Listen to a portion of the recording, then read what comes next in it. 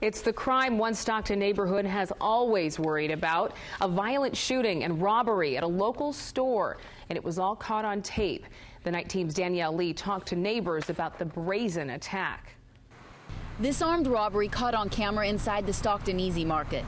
Surveillance video shows a masked man and woman rush the store's owner who runs the shop alone. Investigators say the masked man then shot the 51 year old woman five times.